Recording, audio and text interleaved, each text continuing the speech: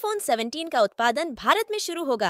Apple पिछले कुछ वर्षों में अपनी आपूर्ति श्रृंखला में विविधता ला रहा है और भारत एप्पल उत्पादों के उत्पादन के लिए पसंदीदा स्थलों में से एक है। इस साल की शुरुआत में आई रिपोर्टों से पता चलता है कि क्यूपर्टिनो 2025 तक अपने आईफोन उत्पादन का 25 परसेंट भारत में स्थानांतरित करने की योजना बना रहा है और नवीनतम मिंग चिकू रिपोर्ट से पता चलता है।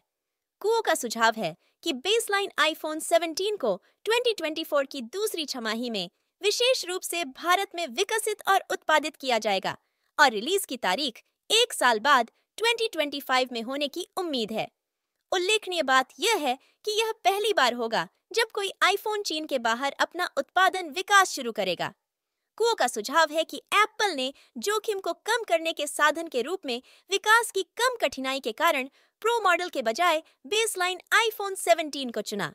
आईफोन 17 सीरीज़ के 2025 के पतन में लॉन्च होने की उम्मीद है।